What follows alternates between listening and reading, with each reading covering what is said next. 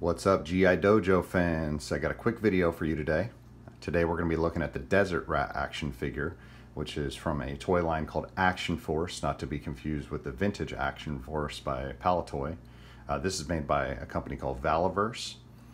Uh, this figure is based on a real-life Iraqi war veteran named Tony Roberts, who was a member of the British SAS. Uh, this is a 6-inch scale figure similar to Marvel Legends or G.I. Joe Classified. Uh, we'll take a quick look at the back of the package here. Check out Tony's file card there if you want to pause it.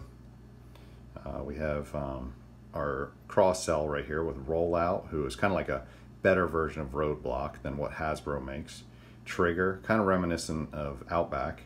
Sergeant Slaughter and Tim Kennedy is Duster, who is also a real-life uh, former Navy SEAL.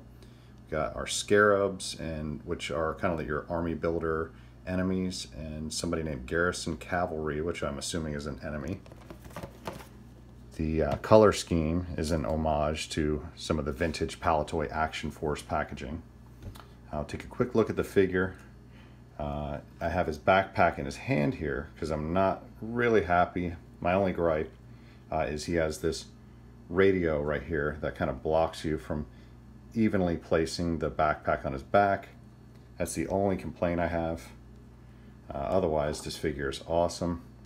Get the real life tattoo sleeve of the real life person named Tony Roberts that this figure is based on. That's his customized, um, I believe it's an M4 rifle. And the magazines are removable. You can swap them with the magazines on his vest. His sidearm also has removable magazine and uh, lots of equipment on his belt. Overall, great figure, nothing to complain about, no uh, quality control issues. Uh, one more thing to show you guys if you've never seen a Valaverse Action Force figure, these backpacks are really cool because you can actually open them and put equipment inside. But I'm posing mine with him holding the backpack just because it doesn't quite fit right because of that radio. Uh, anyway, just a quick video from GI Dojo. Uh, please go check out the YouTube channel Analog Toys. That is the uh, channel owned by this real life person, Tony Roberts. It's the premier place to watch um, videos about vintage 12 inch G.I. Joe figures and vintage 12 inch Action Man uh, figures, which were made by a company called Palitoy, and that was the UK version of G.I. Joe, just in case you didn't know.